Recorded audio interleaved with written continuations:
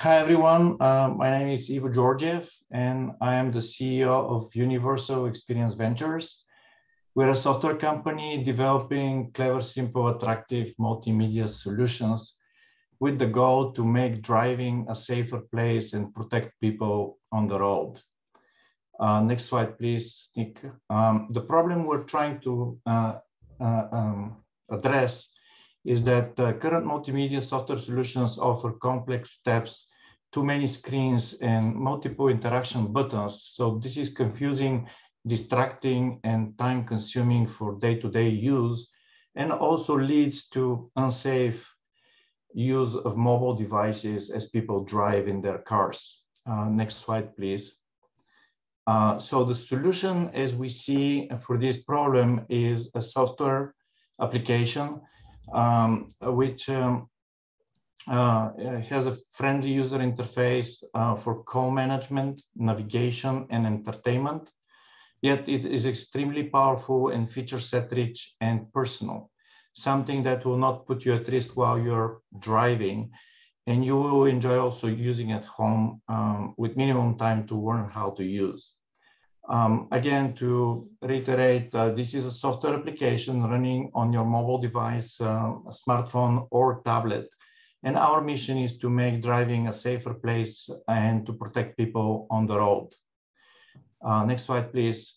The main features of our application are um, communication module for call management, entertainment module for listening to your entertain uh, to your preferred media of choice, and navigation module obviously to get you where you're going uh, safely and um, uh, the fastest possible way. Uh, premium features of our application uh, are personalization, parental mode, and safety alerts, which is currently patent pending uh, feature set of our application. Next slide, please. Um, the way we envision to um, our uh, solution to evolve is by um, in three stages. The first stage being developing the MVP version, uh, the free version of the product, uh, which will contain call management, audio, entertainment, and navigation. The second milestone and stage will be to develop the parental mode and incident reporting. And the third one is to establish uh, strategic partnerships with um, insurance companies and government agencies in a common goal to uh, work towards safety on the road. Uh, next slide, please. The go-to-market strat strategy that we uh, envision is to initially target parents of young drivers to get a foothold in the market and gain traction We'll focus on marketing uh, to acquire um, substantial use ba user base and to also apply new technology to monetize from premium version of the software. Uh, next slide, please.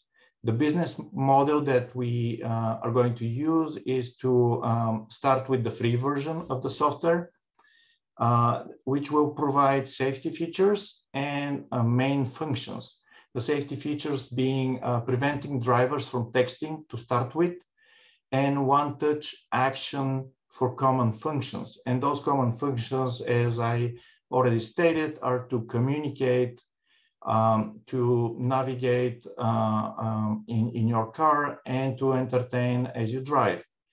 Uh, then we'll transition to the paid version of the product, which will um, incorporate premium features uh, such as intelligent usage preferences for uh, each user, integration of third-party channels and applications.